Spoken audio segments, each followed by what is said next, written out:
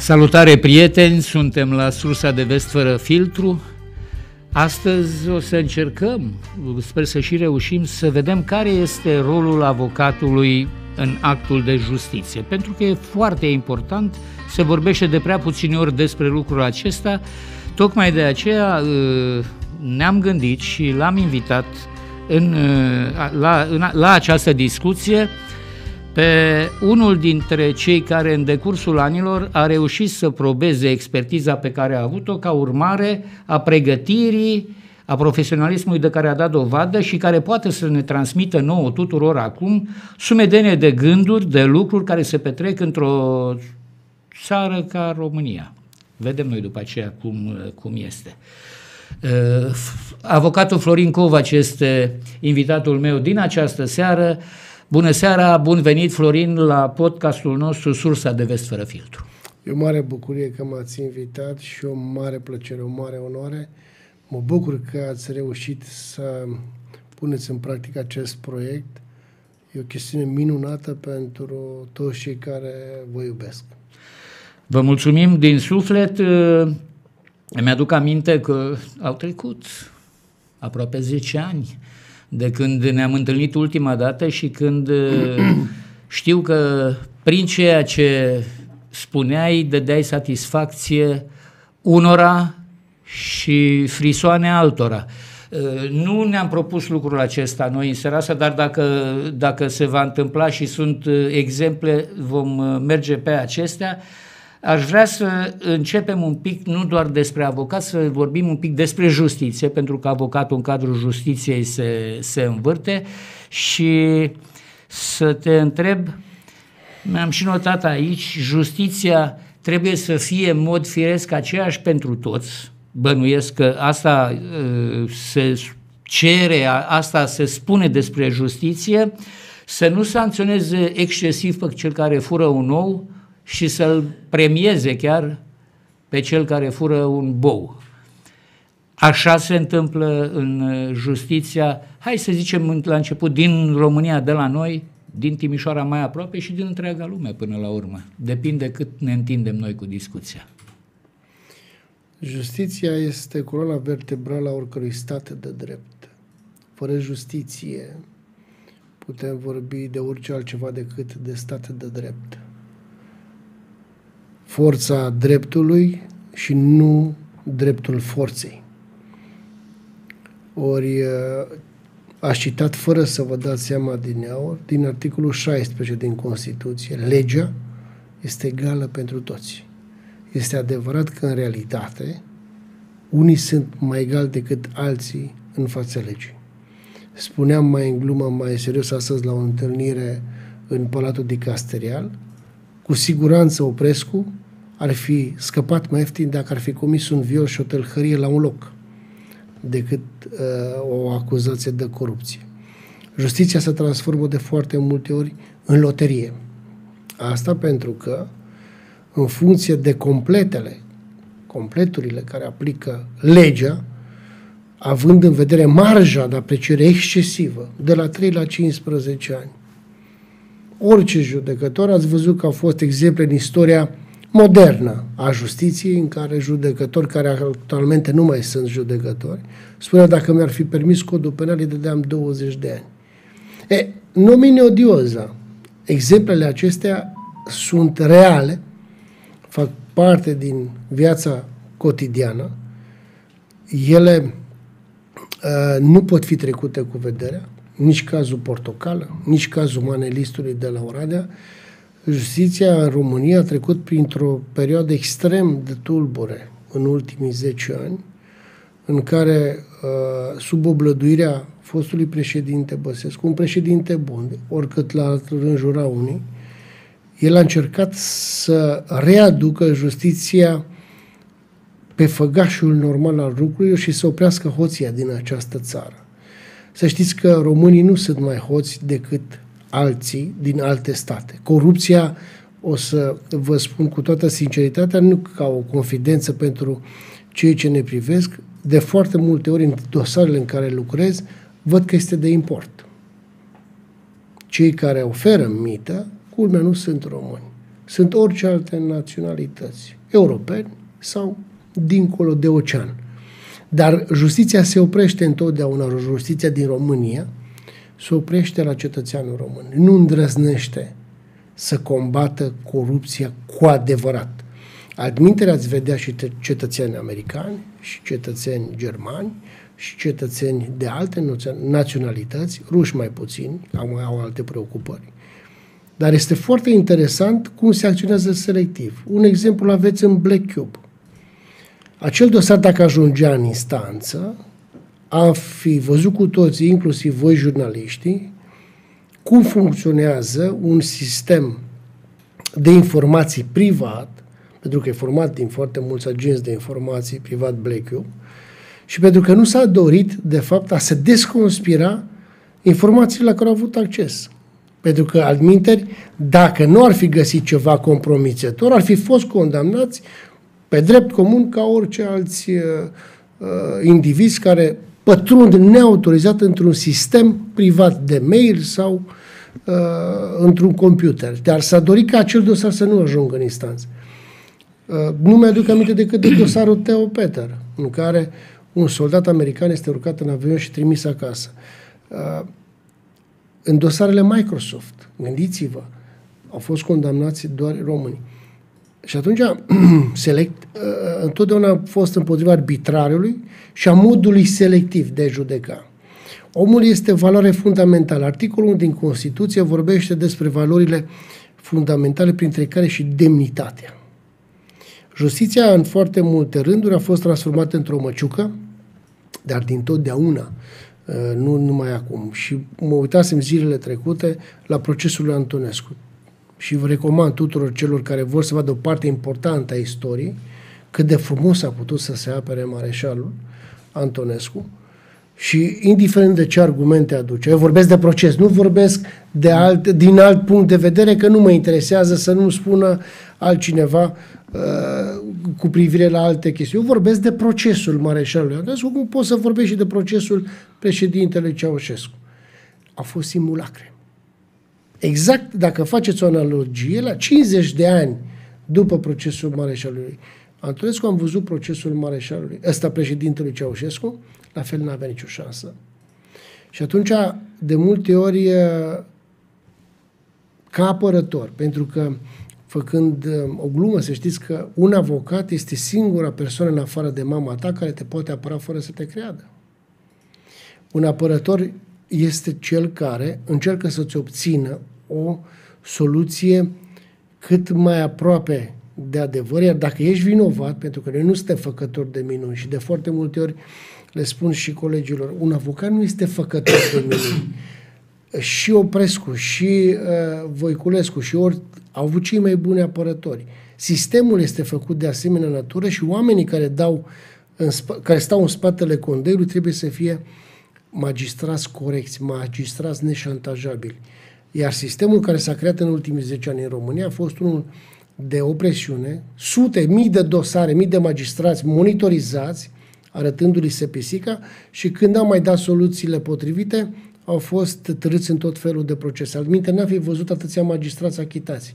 Ori nu este ușor, domnul Radosav, să fii judecător, să ai dosare complexe de soluționat și să te gândești că oricând poți să fii luat din sala de judecată, cum a fost luat uh, Mustață.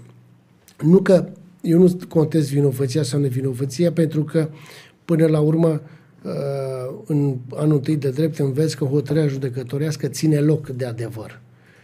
Dacă ar fi să vorbim de adevăr, v-aș reaminti cazul Robert Roșu, primul și sper că ultimul avocat care a fost condamnat pentru complicitate la abuz în serviciu. Uitați, cred că sunteți... Și a chitat după un an de zile de temniță.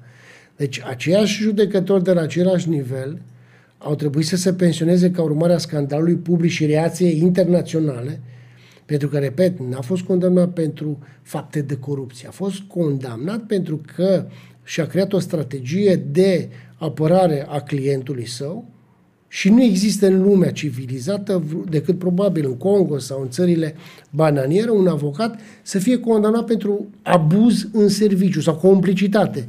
Datoria mea este să-mi apăr clientul cu toată priceperea mea, cu toată calificarea mea, și nu pot să fiu condamnat pentru asta pentru că îmi zice statutul, că e obligația Că de mea. fapt asta este obligația. E obligația mea. Nu mă poți identifica cu clientul. A, că eu nu... A, a, asta ar însemna că dacă eu văd că un client este vinovat, să spun ai nicio șansă. Atunci m-aș întoarce la Stalin care spune așa, de avocați nu mai este nevoie, pentru că dacă ești nevinovat, judecătorul și procurorul vor vedea asta și îți vor face dreptate, iar dacă ești vinovat, de ce îți mai trebuie avocat? Da. Uh, Sunt convins că uh, sunteți în asentimentul, ați fost acum prin ceea ce ați spus, în asentimentul foarte multora dintre cei care ne urmăresc și dintre cei care nu ne urmăresc. Și ați amintit de demnitatea umană. E valoare Dacă- supremă, fundamentală în Constituția României, articolul 1. Cine e, bă, are curiozitatea să deschidă o Constituție. Ar trebui să fie, da. Da. Ar trebui să fie... Demnitatea. Demnitatea, Umană. da. Umană, da. Dar ce facem acum cu justiția? Că văd că ea este coloana vertebrală a unui stat de drept, dar pare a fi uh, fracturată și în momentul în care... Încovoiată, coloana- fracturată nu e, este ușor încovoiată.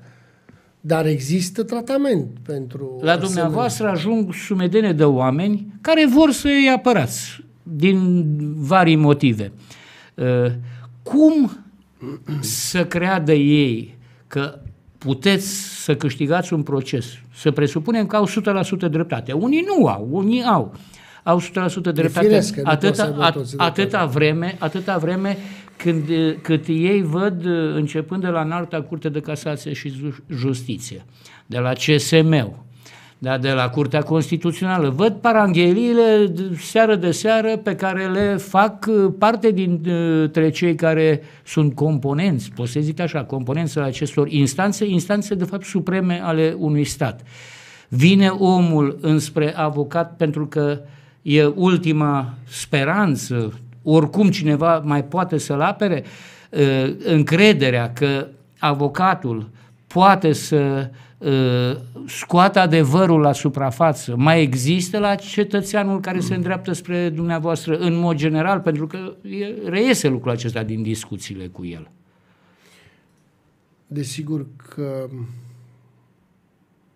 de foarte multe ori încerc același, aceeași mâhnire când uh, realizez cu toată strădania mea de a scoate în evidență acel adevăr, pentru că până la urmă și pe vremea Mântuitorului uh, Pilat din Pont a spus ce este adevărul. Și, mă rog, în Evanghelie ne-a răspuns în altă parte, eu sunt calea, adevărul și viața. Viață. Că atunci pe loc n-a primit niciun răspuns Pilat din Pont. A spus ce este adevărul. Și a rămas cu o enigmă. Dar justiția are o mare însemnătate, pentru că în mâna unui judecător stă libertatea sau temnița unui om. Și eu întotdeauna spun, să știți că în Biblie nu se vorbește la scrâșnirea dinților de procurori sau de avocați, ci se vorbește de judecători. Oricât ar fi de abuziv un procuror, oricât ar fi de superficial un avocat, soluția o dă judecătorul. El trebuie să o dea potrivit propriei conștiințe și legii. Așa spune. Potrivit propriei conștiințe și legii. Și avem nenumărate exemple în care hotărârile judecătoresc nu sunt date potrivit propriei conștiințe, ci sunt date potrivit conștiinței serviciilor secrete, grupurilor de interese. De foarte mult justiția a fost utilizată și mă revez la structurile de parchet, acum mai puțin, pentru că s-au mai trezit și dumnelor, în care a fost distruse concurența, a fost distrusă uh, oamenii de afaceri locali, naționali, noi nu mai avem oameni autohtoni, dar întotdeauna s-a oprit la un, uh, la un anumit nivel. Nu s-a dorit o curățenie până la capăt, un T0. Oamenii au încredere în justiție și fără un avocat șansele lor se diminuează considerabil pentru că sunt multe chestiuni formale pe care trebuie să le îndeplinești. Altfel ți se anulează. Judecătorul nu poate fi un robot care să-ți uh, ține seminarii de drept în sala de judecată. Încearcă să ajute persoanele fără înțelegere juridică, dar recomand un avocat dacă nu tu poți să ceri un avocat gratuit. Statul român are obligația de a asigura unui om nevoiaș care face dovada lipsei oricăror venituri, asistenția unui avocat și în procesele civile, în deosebe în procesele penale. Este instituția avocatului din oficiu. Și eu vreau să vă spun și asta am recomandat-o tuturor tinerilor avocați. În tinerețea mea, toate procesele din oficiu le pregăteam atât de bine și pledeam atât de frumos ca și când aș fi fost plătit de către cel pe care îl apăram. Și aveam uh, motivația, odată, să-mi formez mâna, pentru că, la fel ca un chirurg, știți care este profesia de avocat e de la gât în sus. Dacă nu ai prezență de spirit și un bagaj suficient de cunoștințe, și probabil că o să se uite și tineri avocați la podcastul nostru, degeaba ai prezența de spirit la uh, cabinet, acolo, în sală. Trebuie să știi când să intervii, ce să combați și ce anume trebuie să ataci. Altminteri, pierzi moment uh, tezer, pierzi golden hours sau golden moments. Da? Uitați, noi am vorbit mai de mult și nu cred că s-a schimbat nimic între timp.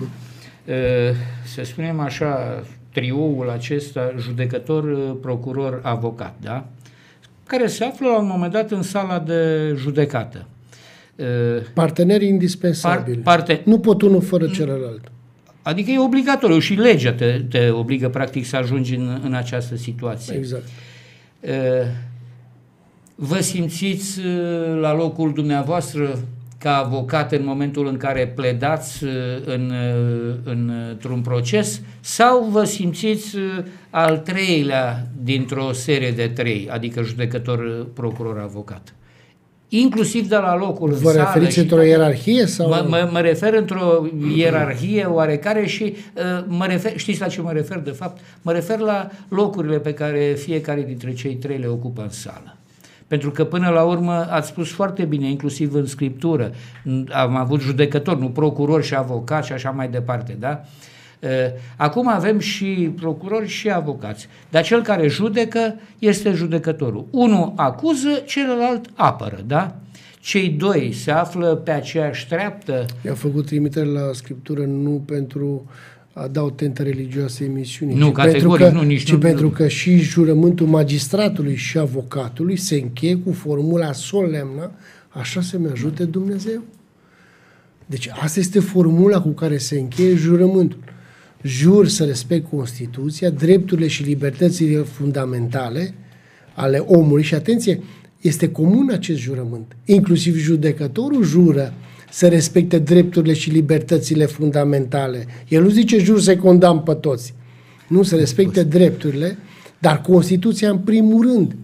Și atunci, în Constituție, ca este legea fundamentală, se regăsește chintesența, structura statului de drept. Că mulți se șterg la picioare cu această Constituție, este mulți o calcă în picioare și vorbesc doar când le uh, cade bine despre Constituție sau altceva. Eu nu mă simt niciodată discriminat, nici din punct de vedere al etniei, uh, care putea să spună, domnule, maghiarii sunt discriminați. Doamne, ferește, nu mă discriminat niciodată pe acest criteriu. Iar cei care se consideră discriminați au o problemă Dumnezeu de percepție publică. Da? Uh, iar în al doilea rând, niciodată nu m-am simțit discriminat față de procurori. Am foarte mulți procurori amici pe care îi prețuiesc și sunt chiar harnici.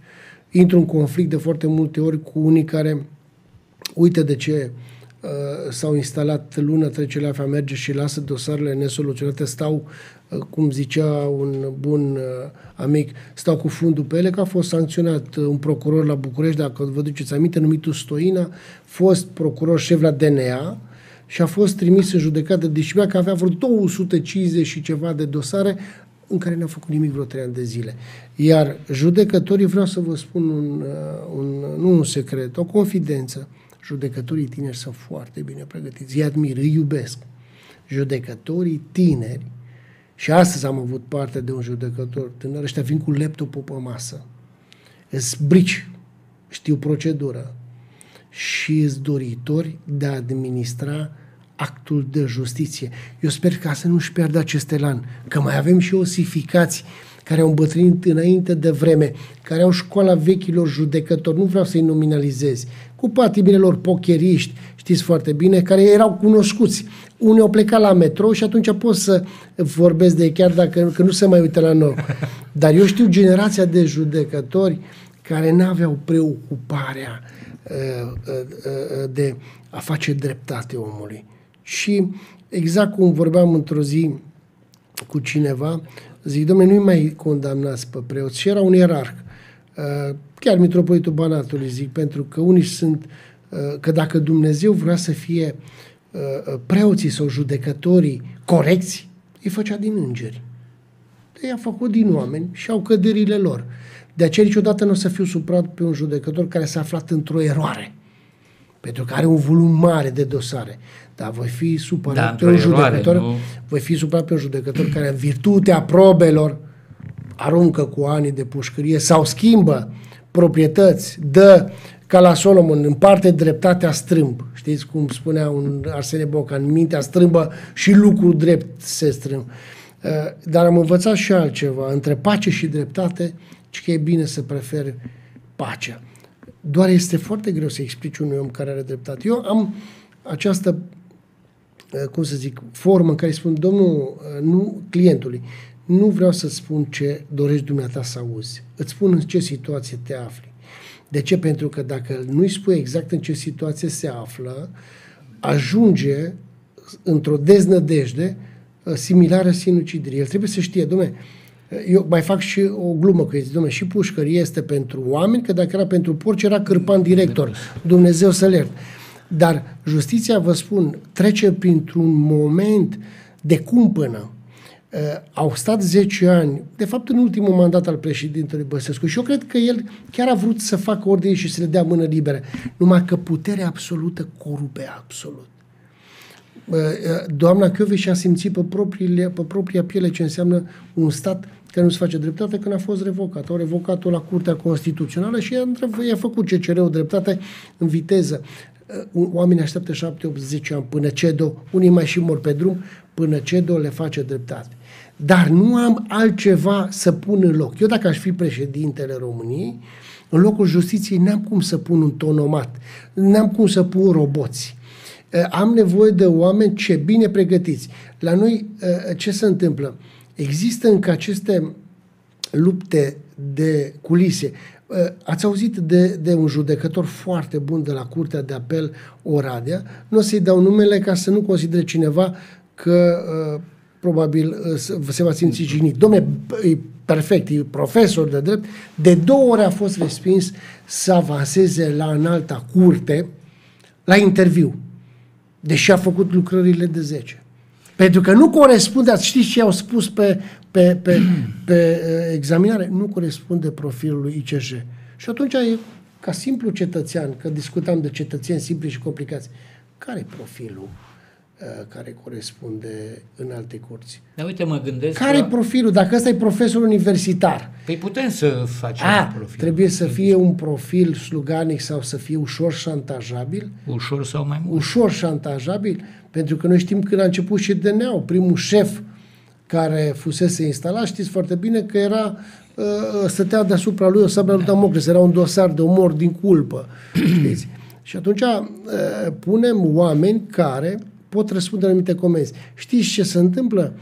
Uh, oamenii, și am văzut, am văzut inclusiv în sistemul uh, european, de regulă se caută persoane care să răspundă la anumite comenzi de, de la o anumită structură. Faptul că există stat paralel, v-ați pus vreodată întrebare, cine tot drapelează această noțiune? Păi stat paralel există când te gândești la servicii, când te gândești la funcționarii publici, pentru că ei rămân indiferent de cine e președinte. Nu președintele este șeful statului paralel. Statul paralel a fost creat, știți când? Când în CSAT, care are caracter nepublic ca hotărâri, se luau foarte multe decizii care nu se regăseau în monitor oficial. Ăla e statul paralel. Ai luat acolo șefii de informații, procurorul general, ministrul justiției și dădeați hotărâri CSAT. Știți că o hotărâre CSAT care nu se publică, nu are valoare nici măcar cât o hotărâre de Consiliu Local, dar în baza hotărârii CSAT au fost trimiși oameni la închisoare. În baza hotărârii CSAT au fost monitorizați milioane de români. În baza hotărârii CSAT s-a făcut o justiție paralelă. Ce s-a întâmplat, domnul Radosav, când au fost demascate aceste protocole? Pentru că ele puteau să existe foarte bine și astăzi. Ceva s-a întâmplat. Și acea, acel semnal a venit din exterior, nu din interior. Că Helvig putea să spună nu declasifică nimic. Că de acolo a plecat. Da. Pentru că la un moment dat a existat o, o limită a abuzului. Serviciile secrete au făcut la dosare atât de multe încât mergeau cu rechizitoriu, doar completau numele. Uh, au fost experți în a fabrica dosare și serviciile secrete renunță foarte greu, că de aceea ați văzut că pe aici, pe acolo, câte un politician încearcă să-i reintroducă în dosarele penale. Când un serviciu secret uh, își arogă această competență de a face dosare penale, oricare dintre noi, pe o compilație, putem să ajungem să fim izolați social. A scris Ioan Popa o carte și vă recomand, se numește Noaptea Dreptății Românești. Ioan Popa este judecător, s-a pensionat recent, de la Curtea de Apel București. Un tip deștept, mie mi-a plăcut foarte mult. Și a prezentat un uh, program pilot pentru România, făcut de americani. Eu spun, eu iubesc America, am fost în America, am prieteni americani, cum a fost și în Rusia, am vizitat Moscova și iubesc Moscova și iubesc uh, Sankt Petersburg, iubesc Ucraina, am fost în Kiev, uh, mă doare ceea ce văd acum, dar nu pot să spui acum dintr-o dată că uh, Rusia uh, e anihilată de faptul că un președinte, nu vreau să-l nominalizez, a luat o raznă, că din punctul meu de vedere președintele lor are o problemă, nu neapărat poporul. Și dacă uh, condamnăm România pentru ce a făcut bine sau a făcut rău Ceaușescu, până la urmă nu este corect.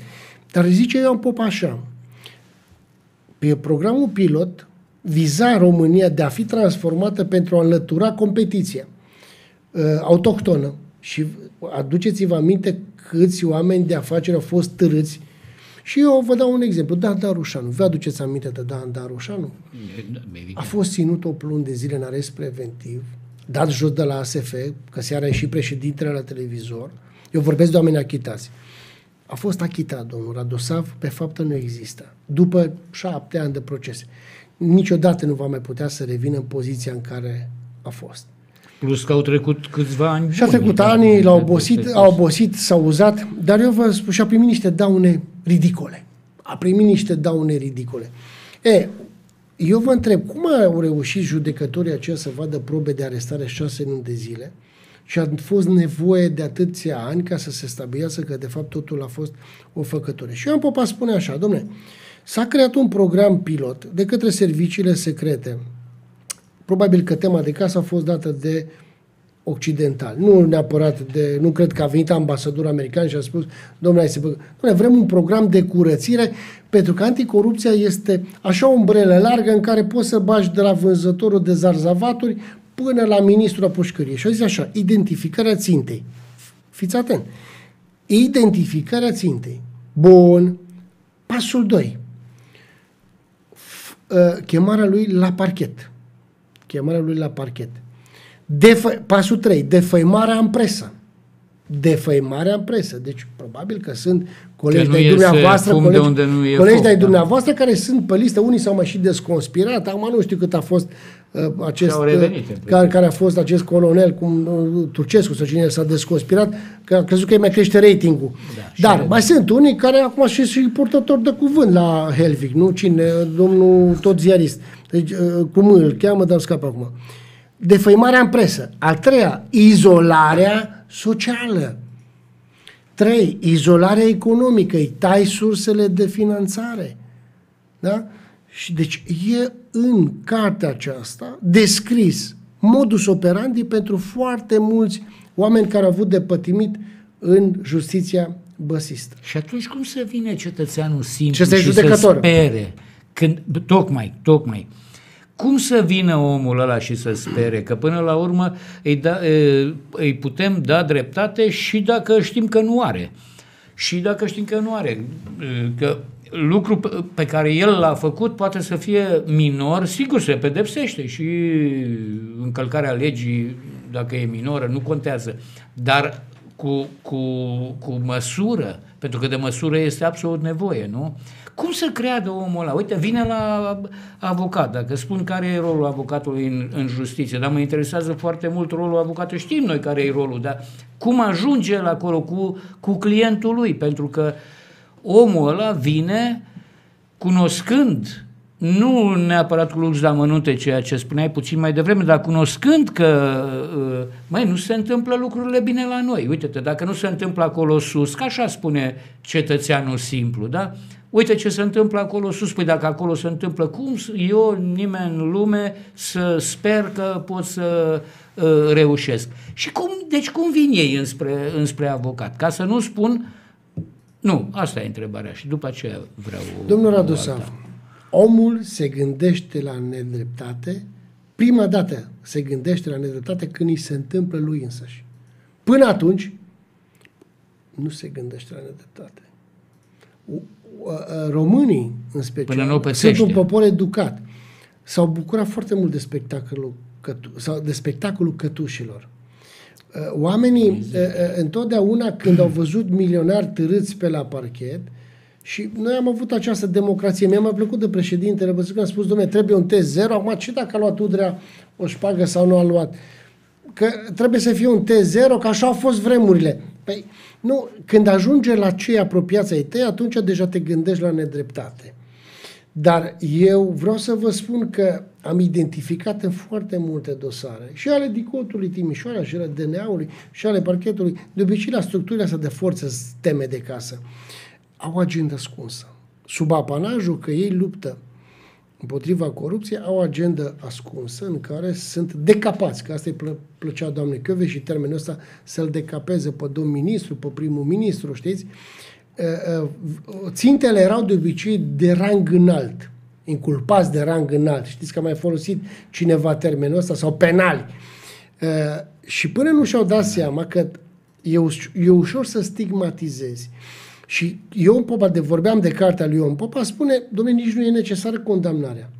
Dacă l-ai dus cu cătușe la parchet, cu cameramani, cu o trupă de urători după el și spune, hoțule, banditule, amintiți-vă de Teodosie, săracul un an de zile, eu tot timpul dau exemplu în instanță, că el a stat un an jumate în control judiciar, a fost achitat, dar de ce? Că lunar sau nu, de dor pe săptămână, când mergea să semneze, era și o trupă după el care îți făcea hoțule, banditule. Domne, câtă o cara a putut să suporte omul ăsta, că eu mă mir că mai întreg la minte, că acum spune că uh, uh, e în contra uh, curentului Bor. Bor. Dar nimeni nu a trecut prin ce a trecut el.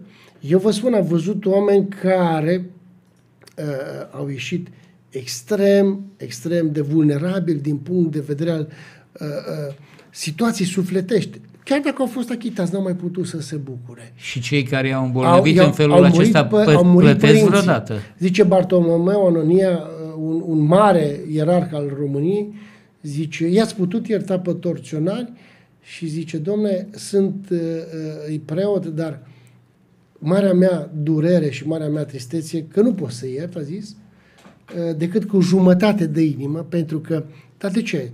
O și întreabă uh, moderatoarea, pentru că părinții mei au murit având de ambii copii în pușcărie, și ea și fratele său erau în pușcărie. Și știți că Bartolomeu Anania, când și-a citit dosarul, a vrut să se schilodească, să se orbească, așa cum a confecționat Andreea, și a zis, nu mai vreau să văd oameni în viața mea, că erau prietenii lui de pahar. Cei erau, mai apropiați. Erau cei mai apropiați. și a vrut noaptea, în celulă, să-și lovească ambii ochi și era foarte hotărât să treacă și la al doilea, să nu rămână chior. Zice, ca să nu mai văd om în viața mea. Și apare în vis sora lui uh, care murise și era mută, îi apare pe o plută și spune, n-ai voie să fii povară nimănui.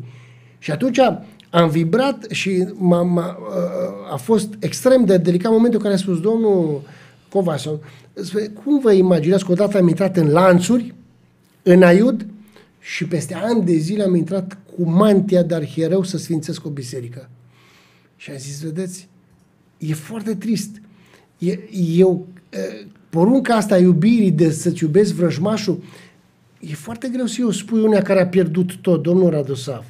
Familie, spui, copii. Dar Gândiți-vă că un om care este în proiectul ăsta de care scrie judecătorul Ion Popa, identificat ca țintă, defăimat în presă, izolat economic, izolat social și care zice la final nici nu e nevoie să fie condamnat, are copii, are familie, are părinți. Toți cei care sunt în apropierea lui suferă mai mult decât că eu de multe ori cert pe cei care sunt la pensiune pe popa șapcă că își terorizează familia. Zic, domnule, să știi că ea de afară suferă mai mult decât tine. Tu, pentru ei mai mult răpirea libertății și a, a demnității. Dar eu vreau să vă spun că unii ies întăriți de acolo și alții nu iasă, alții iasă terminați din punct de vedere psihic. Dar eu vă spun, credința aceasta că lucrurile nu rămân niciodată nerăsplătite mi-au dat-o deținuții politici. Am avut uh, câțiva și uh, Cosma Vasile a fost un caz la care am lucrat și am câștigat daune. I-a spus, domnule, cum ai rezistat, domnule, în temniță? Și mi-a spus, prin credință. Cea mai mare bucurie a fost aceea că uh, ne-a trimis Dumnezeu preoți. Dacă noi nu aveam preoți în temniță, ne sinucideam, așa cum acum vedeți că la noi deja este ceva banal. Se aruncă mamele de la etajul 10 și nici pe ei nu pot să-i judecă. Eu nu știu ce a fost în sufletul lor. Mă doare ca om un asemenea gest că și-a luat și copilașii. Dar ați văzut că acum sinuciderea este un act care se petrece zilnic și este trist. Din nefericire. Dar nu știi durerea oamenilor, nu știi ce îl împinge până acolo. Bun, dar și, și când, se, durerea când, asta- când ajung cu la sinucideri în dosare penale, oamenii se sinucid, nu cred că de frica temniței, de frica stigmatizării perpetue. Pentru că sistemul nostru judiciar este făcut într-o asemenea ma- manieră în care să te zdrobească, să te anihileze, să te ducă la nivelul de nimic. Și dacă nu ești suficient de puternic, ca să nu mai prelungești agonia ta și a familiei, ții zilele. Bun, nu știu spre ce ne îndreptăm noi, lumea, în general, nu noi românii, că nu e Ne vorba îndreptăm doar spre de... bine, sperăm Nu, că va fi bine, domnul Radosav. Sperăm că va fi bine, că nu putem să perpetuăm numai rău. ar trebui să mai spunem, uite că am ajuns la bine, că noi de când uh, ne cam știm, uh, tot sperăm să fie, să fie bine. Dar uh, vreau să afle cei care ne privesc un lucru pe care de foarte multe ori oamenii și îl pun și poate de aici uneori avoc- avocatul, în, avoca, avocatul, nu unul anume, uh, nu are o imagine foarte bună. Ce trebuie să facă un avocat în momentul în care cineva vine la el și îi spune cu sinceritate, uite am făcut chestiunea asta, dar vreau să mă aperi. Să-l apere sau să-i spună, du-te acasă, eu nu apăr decât pe sfinți și pe cei Domnul buni. Radosav, ce înseamnă un avocat cu o imagine bună? Faci undeva o cerere la Nu, faci- vreo asociație de acordare a imaginii bune și îți o aprobă sau nu? Evident că nu. Că pe mine, bă, eu vreau să vă spun, uh, un om, sau un om este atacat și afectat uh, doar dacă permite celui care îl ocărește, dar și eu am, mai am o vorbă, când vei suporta o cara precum lauda, vei fi desăvârșit. E simplu.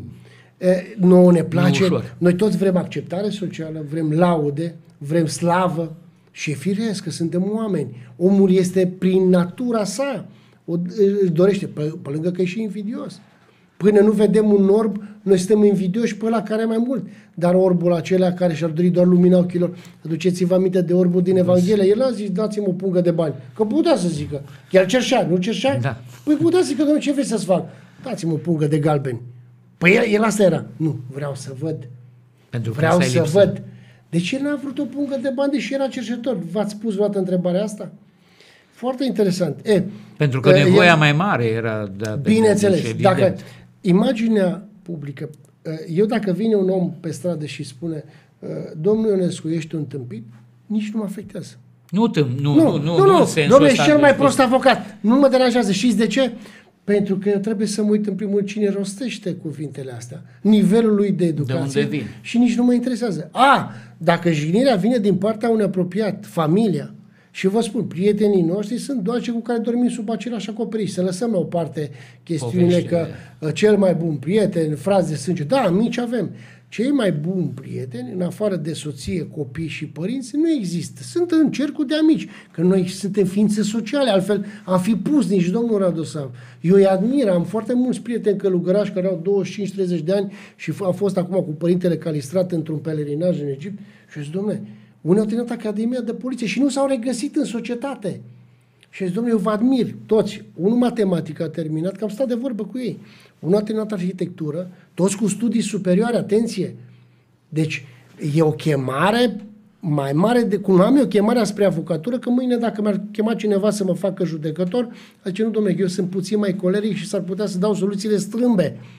Că nu am răbdarea necesară și atunci prefer să lupt și să îmi, demo- îmi motivez cauza și să fac pentru oameni. Întotdeauna știți care este misiunea mea? Să am conștiința împăcată. Că am făcut tot ceea ce a stat în puterea mea ca avocat să-l ajut pe om. Că eu nu sunt făcător de minuni. Că de-aia le-a spus unor clienți, domnule, hotărârile le dau judecătorii, nu le dau avocații. Iar unii, unor colegi, și eu vă spun că Timișoara are foarte mulți avocați bine pregătiți, și Clujul, și București, sunt foarte bine pregătiți, pentru că te obligă societatea, degeaba ești fiul lui Xulescu, degeaba ești fiul lui Ionescu. Nu, no, tu trebuie să demonstrezi. E, azi revin la întrebare, cu imaginea. Nu puteți dumneavoastră în fiecare seară pe podcastul acesta care are mii de vizualizări, sau sute de mii, să spuneți de Covaci că este un avocat prost pentru că cei care interacționează cu mine văd că ceea ce spuneți dumneavoastră e o prostie. nu reprezintă un adevăr. Nu aveți că e o prostie. Ați ba, că, o de ce? Pentru Dacă că ăsta ce stai, domnule, noi stăm de vorbă cu omul ăsta, vedem cum pune lucrurile și orice a spune dumneavoastră, dacă nu se reflectă în realitate, cei care lucrează cu mine nu să vă cadă. Ați înțeles? Păi, deci uite... aici este chestia cu imaginea. Doi, avocații, cine, cine vine și spune de imagine? Invidioșii, cei care ne ajung la nivelul tău. Pentru că în momentul în care, a, sunt și avocați care utilizează uh, alte uh, instrumente și alte modalități, sunt instituții abilitate să, să se ocupe de asta. Dar când vorbești de imagine, atenție, avocatul ți le alegi după propriile tale uh, uh, valori.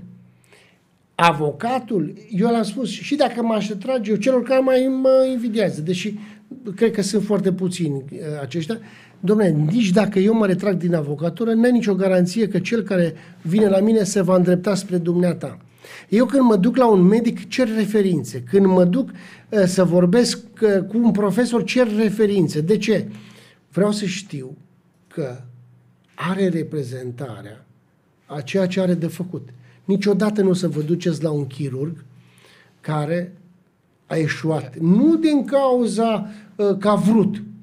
Și, când, și că atât poate. Nu, nu, pe, nu, pentru că atât poate și el în loc să mai taie uh, un mădular, mai taie o mână, taie greșit. De ce?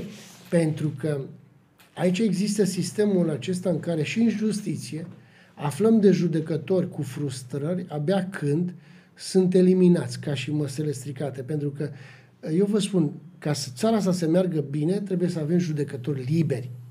Dar liberi în sensul bunei credințe. Trebuie să le faci un test și să-i verifici la lucrări.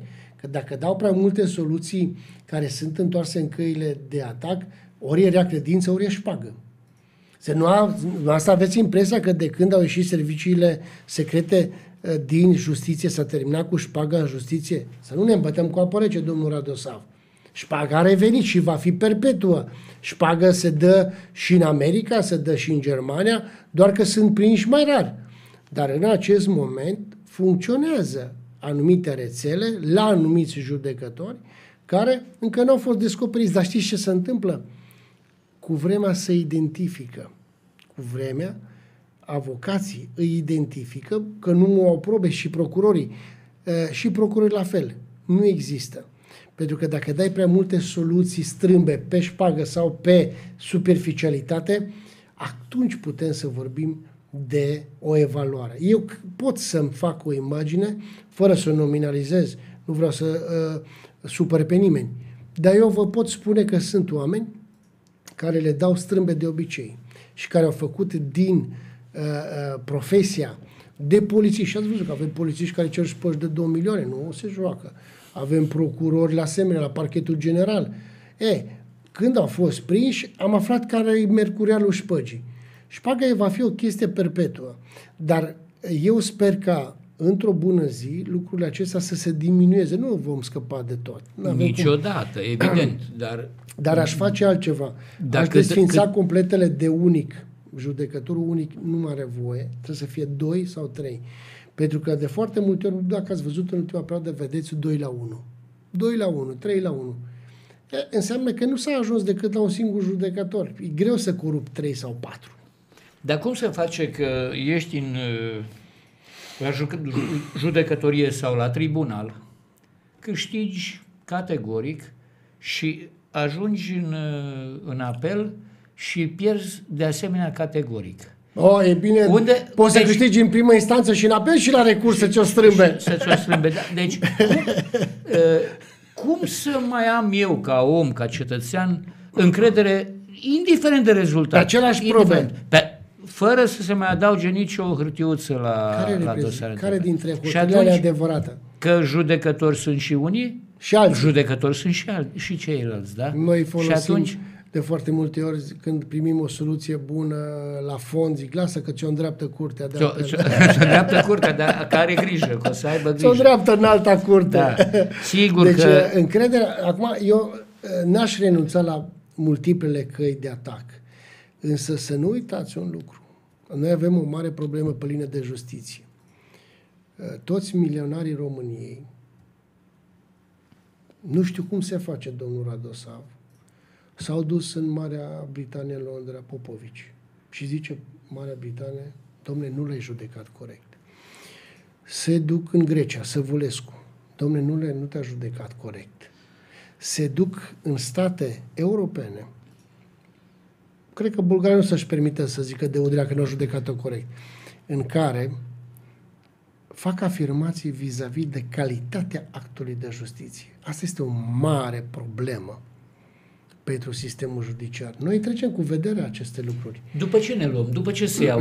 După legile internaționale, după legile speciale, după legile europene, după legile românești, atunci când te judecă? Pentru că Dacă... e un amalgam aici, din ce am înțeles eu în timp, așa cum am citit, ăla ține cont de recomandările Comisiei de la Veneția, ăsta îl ține cont de legile internaționale, unde România e parte, celălalt ține cont de legile speciale și mai știu omul, văd eu ce zice domnul sau doamna judecătoare și sentința aia pe care mi-o dă și sănătate bună, am plecat acasă. După ce Dumnezeu să judecă? Nu există, că eu din câte știu, există o ierarhie a legislației și încep de acolo și ajunge aici aia primează după aceea următoarea, următoarea și așa mai departe. Se respectă lucrul acesta? Constituția este în vârful piramidei. Constituția României este în vârful piramidei. De aceea avem curte constituțională și în fața curții constituționale orice cetățean care are un litigiu pe rol se adresează și arată incompatibilitatea legii în raport cu Constituția. Avem două excepții de când am aderat la Uniunea Europeană. Articolul 20 din Constituție spune că dacă există conflict între norma internă și norma internațională, se aplică norma internațională cu privire la drepturile și libertățile fundamentale. Și mai avem un articol la 147 unde spune că tratatul Uniunii primează în fața legilor interne. Și acum Dar ați văzut că... De ce nu desfință și, legile păi nu, nu, și atunci, atunci, de foarte multe ori ați văzut că la înalta curte s-a făcut multă zarvă în dosarul Udrea, care ar fi trebuit trimis la rejudecare, la fel ca dosarul Ponta, ca dosarul, uh, uh, îmi scape acum, fost asociat al lui Ponta, și în dosarul Uh, uh, Ministrul de Sănătate. Da, și au spus, au spus, domne, aici ne grăbim că se prescriu faptele, nu mai trimite la rejudecare. Păi, ju, uh, justiția nu este uh, la contracronometru și nu e o competiție de cross. Uh, justiția trebuie să înțeleagă rolul său fundamental. Fă, domne, procese de o săptămână termene, dacă vrei să le judeci repede, dar când tu ții pe rolul instanței, cu ani de zile, procesele cu miniștri, cu oameni importanți și pe acarul pe unul îl judeci la foc automat, da? îl judeci la foc automat, atunci crezi o nedreptate, pentru că justiția se aplică diferit oamenilor complicați. Și știți de ce? O vedem în străinătate. Dacă Ghiță n-ar fi fost cine este, n-ar fi primit uh, azil politic în Serbia, dacă Popovici n-ar fi fost cine este, n-ar fi primit azil și nici dreptate în Londra, noi uh, uh, își permit aceste state să spună că justiția din România este de o calitate inferioară și n-am văzut niciun protest. Ministrul Justiției trebuia să, să se bată cu pumnul masă, să spună dacă voi nu executați hotărâri definitive românești, spunând că nu, mai faceți o nouă judecată, inventați o cale de atac, trimiteți-l, domnule, să se lupte în România, ca orice cetățean. Da? Nu, tu spui în Londra, în alta curte, că n-a avut parte de un proces corect. Atunci când tu vei cere să-ți extradezi vreun cetățean sau pe Assange sau pe cineva și eu să spun, domnule, ce mandat de arestare? Nu recunosc mandatele europene. Uh, uh, germanii fac la fel, pun la italienii, italieni, uh, Italia a devenit raiul tuturor celor care nu vor să-și execute pedepsele în România. Eu cred că și de Stase și Voiculescu sunt invidioși. Pe al de Udrea, pe al de uh, Nelu Miron, pe al de uh, uh, Nicu Miron, sau cum o fi. Toți ce au executat în Italia. Inclusiv Săvulescu, în Italia fugind, a spus în alta uh, curtea de apel din Milano, domnule, nu e clară condamnarea ta. De ce? Păi ești multimilionar. Și atunci haideți să rupem acest mit. Justiția pentru multimilionari este total diferită față de cetățenii de rând. Adică total, avem două justiții. Atunci. Bineînțeles, pentru că un multimilionar nu că și cei mai buni avocați. Poate face anumite daruri guvernului care îl găzduiește, poate face anumite daruri, anumite promisiuni de investiții și poate primi o recomandare. Domnule, ar fi bine pe domnul Popescu, pe domnul Ionescu, să nu-l trimiteți în România să facă 5 ani de pușcărie, că uitați, vrea să aducă vreo 7, 10, 20 de milioane de investiții și face locuri de muncă. Deci nu că se duce și de la judecătorul londonez. Nu, se discută la alt nivel. De aceea, nu vreau să vedeți multimilionari și multimiliardari uh, aduși, trimiși înapoi în țara de origine. A, dacă e traficant de droguri uh, sau este criminal în serie, păi nu-i vrea nimeni. Dar uh, milionarii sunt iubiți de obicei în cele mai civilizate state și ați văzut... Deci banul face cărțile? Da, ați ajuns la o concluzie foarte corectă, dură. Banul face cărțile la nivelul la care dacă în România Uh, am văzut în motivarea lui Oprescu că m-a obsedat. Uh, vorbesc acolo pe pagini întregi cele două judecătoare că a avut o concubină costisitoare, că a, se plimba prea des între casele de vacanță.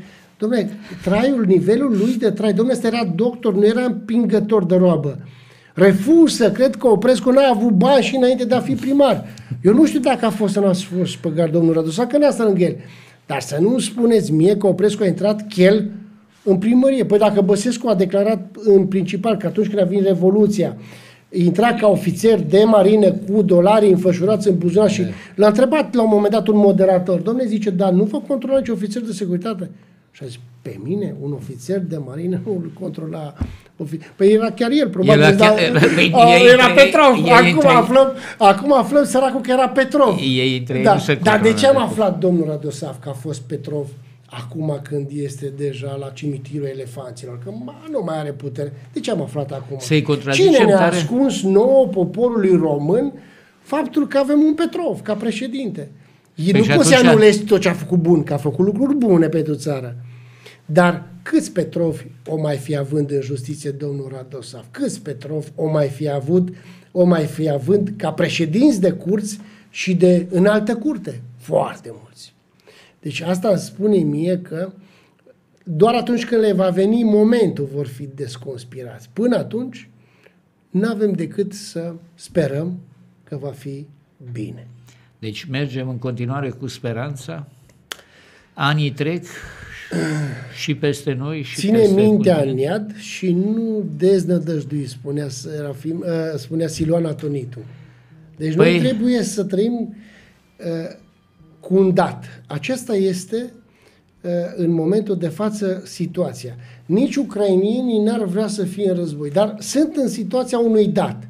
Eu în momentul de față, chiar dacă sunt dezamăgit de sistemul de justiție, chiar dacă sunt dezamăgit de anumiți judecători, speranța mea este că ori se vor trezi și nu mai fac ceea ce au făcut, ori ușor, ușor se vor îndrepta spre pensie, și vor veni judecătorii tineri care, repet, îi admir și pe avocații tineri și pe avocații uh, uh, judecătorii tineri pentru că Dar și cei mai în vârstă au fost la, la un moment dat tineri și sunt convins că au fost buni la momentul respectiv. Dar numai ceva că pe au parcurs, fost virusați de ceilalți. Ceva pe parcurs a intervenit. osificații. I-au da. virusat pocheriștii și i-au virusat uh, cei care erau cu viața de trubadur. Adică trăiți în orașul ăsta de atâta mare de vreme. Când spun de judecători pocherii și trubaduri, știți la bine la cine mă refer, că majoritatea sunt plecați deja din sistem, unii la metrou, alții mai uh, își încasează pensia frumoasă de 2-300 de milioane uh, de, de lei. Și asta am spus, noi nu vă mai tot folosi sisteme false, pensia specială, pentru că a scris uh, uh, Mircea Haitonic o carte, un mare avocat al barului Timiș și o somitate, eu le-am iubit. A scris Uh, uh, uh, trei cărți frumoase și asta la, la, nu neapărat la rugămintea mea de a spus, e păcat că aveți atâta cultură și atâta, sunteți o enciclopedie ambulantă și eu vi le recomand. Zbor deasupra unui cuib de draci, frumoasă carte, Iartă-mă, Doamne, în care spune relația lui cu Maica Domnului pentru că era rușine să se roage la Iisus el, și uh, Genesa. Aceste trei cărți spun de zbuciumul unui om. Și sunt foarte interesante, sunt foarte multe. Noi nu mai știm să citim. Noi acum vrem totul fast food. Totul fast food. Dar eh, eu vă spun, în momentul de față, poți să fii un avocat foarte bun, ca ai atâta informație și atâta acces la legislație, la coduri, la jurisprudență. Cine face nedreptăți ca judecător nu mai poate invoca necunoașterea jurisprudenței și a legii. Pentru că oriunde, dacă ai un laptop din America, din Egipt, din Tanganica, în momentul că ai deschis și ai căutat codul civil, codul penal, vezi tot. Uh, jurisprudență pe orice, vezi tot. Deci nu mai poți să spui, domnule, eu n-am știut orientarea jurisprudențială. Și cel mai elocvent ca singurul caz de condamnarea unor judecători pentru abuz în serviciu Știți care a fost? Aduceți-vă aminte, din El Staicu a mituit uh, trei judecătoare ca să îi se admită o contestație în anulare, să fie exonerat de pedeapsa de șapte ani și acolo motivau judecătoarele că în opinia lor noua jurisprudență și vine Curtea Supremă și le condamnă la patru ani cu executare. Atenție, judecătoare de Curte de Apel București. Și spune, raționamentul lor juridic este străin și de lege și de jurisprudență. Deci au inventat. Au inventat. Că s-au chinuit atât de mult ca să justifice banii. Eu nu știu, domne, cât a fost șpag acolo. Dar aduceți-vă aminte că președinta completului a fost prinsă cu un milion de euro. Deci nu era puțin. Aduceți-vă aminte, deci a fost un milion. Iar celelalte judecătoare, pentru că n-au putut să demonstreze că au pus mâna pe bani, le-a condamnat pentru abuz de serviciu, că au scos din puțul gândirii o asemenea motivație de te-a durut mintea. Dar asta nu înseamnă că toți judecătorii sunt corupți, nu înseamnă că toți avocații categoric, sunt superficiali, categoric. nu înseamnă că toți procurorii sunt de rea credință. Eu iubesc procurorii, iubesc polițiștii pentru că fără ei ordinea de drept ar fi iluzorie. Ar fi într-un haos. Gândiți-vă ce s-ar întâmpla într-o zi sau într-o două zile dacă n-am avea poliție pe străzi. Gândiți-vă doar ce s-ar întâmpla au fost niște experimente da. prin Mexic în anii da. trecuți. Din Cred păcate, din păcate uh, s-a epuizat, n-am depășit, s-a epuizat timpul până acestei, acestei întâlniri. Mulțumesc din suflet pentru gândurile transmise celor care ne urmăresc și celor care acum nu ne-au urmărit în direct și ne pot urmări în zilele ce vor să vină. Uh, greșesc dacă încerc să conchid uh, să fim atenți că de foarte, foarte multe ori banii fac cărțile, să fim atenți că există uh, gheață și se alunecă din greu, chiar și vara, în multe dintre instituțiile statului, prin urmare și în, uh, în justiție, și să trăim cu speranța că cel care oferă dreptate necondiționat va avea grijă de noi și că lumea în timp se va schimba în bine și nu în rău, așa cum tindem de foarte multe ori să spunem noi. Greșesc? Nu greșiți absolut deloc.